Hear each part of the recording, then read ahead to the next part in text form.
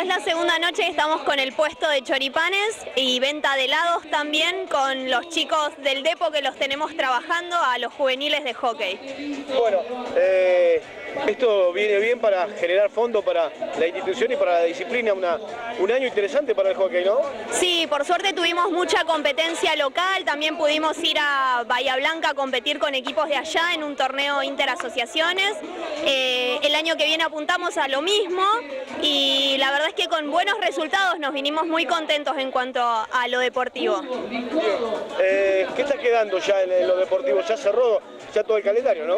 Claro, ya terminó el torneo local, que es el que participamos en la asociación de Viedma Patagones. Eh, las chicas de la séptima división quedaron en segundo puesto por segunda vez consecutiva. Eh, y después, bueno, tenemos un equipo de varones que está compitiendo junto con Ferro. Eh, hacen un combinado Ferro-Las Grutas, pues tenemos pocos varones de los dos clubes. Así que también ellos por primera vez pudimos llevarlos al torneo. Bueno, eh, ¿quién está trabajando acá? ¿Todos padres, integrantes de la comisión? ¿Quiénes están trabajando? Sí, acá tenemos a padres que son parte de la subcomisión y otros padres que se han acercado a colaborar, que por suerte siempre tenemos mucho apoyo de las familias.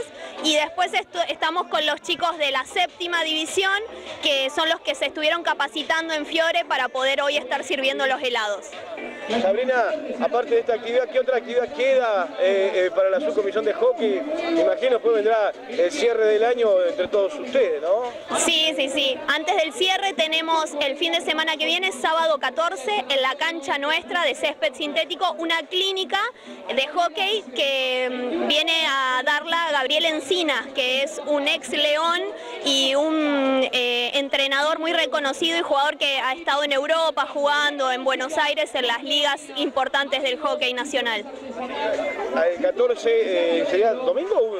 Es sábado 14 y ese mismo día nosotros tenemos el campamento de cierre, que es como nuestro, nuestra despedida simbólica, fogón y campamento y ahí sí cerramos actividades.